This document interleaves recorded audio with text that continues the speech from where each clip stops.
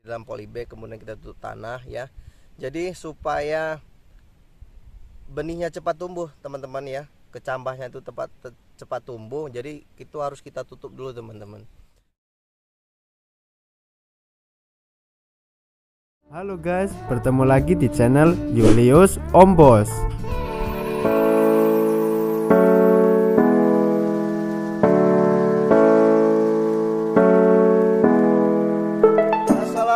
Assalamualaikum warahmatullahi wabarakatuh. Halo.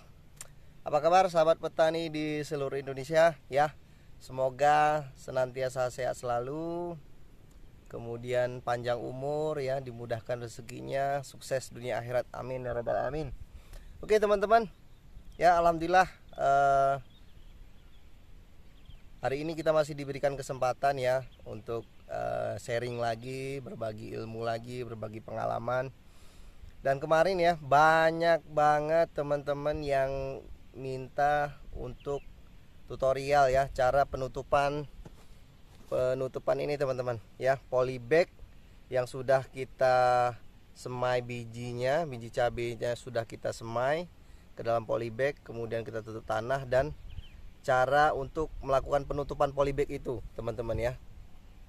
Karena untuk di video sebelumnya teman-teman saya lupa ya saya lupa untuk memasukkan part yang itu part penutupan polybag dengan menggunakan plastik ya supaya benih itu cepat tumbuh teman-teman.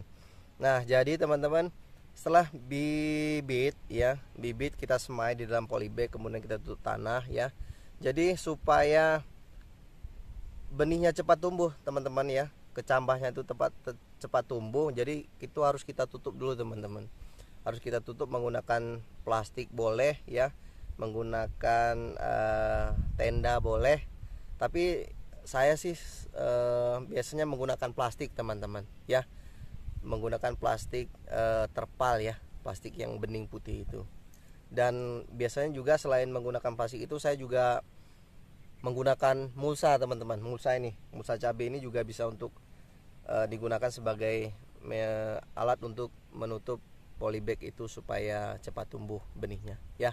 Khusus untuk teman-teman yang request ya ikutin terus sampai akhir. Karena ini khusus saya buat buat teman-teman ya. E, karena memang kemarin saya lupa sih ya di video penyemaian bibit itu saya melupa memasukkan part itu ya. Oke hari ini akan saya bayar teman-teman ya. Ikutin terus sampai akhir video ini Nah, jadi cara uh, ataupun proses penutupannya seperti ini teman-teman ya. Jadi polybag yang sudah kita isi dengan benih cabai ya, dengan biji cabai yang sudah kita semai. Uh, tahapan selanjutnya adalah sebelum kita melakukan penutupan seperti ini, polybag harus kita siram terlebih dahulu ya teman-teman ya. Polybagnya harus kita siram terlebih dahulu sampai basah ya begitu barulah kemudian kita lakukan penutupan seperti ini. Mengapa tanahnya harus kita siram dengan air eh, dengan posisi yang cukup basah teman-teman supaya kondisi tanah di polybag ini tetap lembab teman-teman ya. Jadi jika tanah itu posisinya tetap lembab itu akan berpengaruh terhadap proses pertumbuhan benih yang sudah kita semai ini. Jadi jika tanahnya lembab itu nantinya akan mempercepat proses pertumbuhan biji ataupun benih yang kita semai ini teman-teman. Kemudian untuk uh, alat yang kita gunakan ya teman-teman ya untuk melakukan penutupan itu boleh apa saja teman-teman ya. Ini contohnya saya menggunakan mulsa teman-teman. Ya, boleh teman-teman menggunakan plastik boleh menggunakan tenda boleh juga uh, karung itu ya karung juga bisa teman-teman. Intinya uh, polybag ini bisa tertutup dengan baik teman-teman. Nah untuk bedengannya seperti ini teman-teman ya.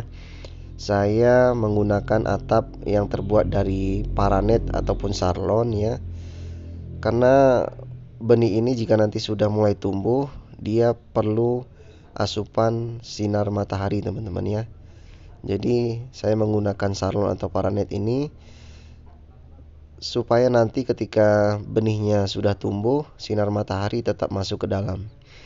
kemudian untuk di sekelilingnya saya gunakan mulsa teman-teman ya untuk sebagai pagarnya ini untuk menghindari dari gangguan hewan-hewan buas ataupun hal-hal yang bisa mengganggu tempat ini teman-teman ya. Bisa seperti babi hutan kemudian kucing ataupun anjing ya ataupun sejenisnya yang bisa merusak bedengan ini. Nah ini teman-teman ya seperti ini. Jadi harus kita tutup dengan begitu rapat ya supaya tanah kondisi tanah di dalamnya itu tetap lembab. Jadi itu nanti akan membantu proses pertumbuhannya.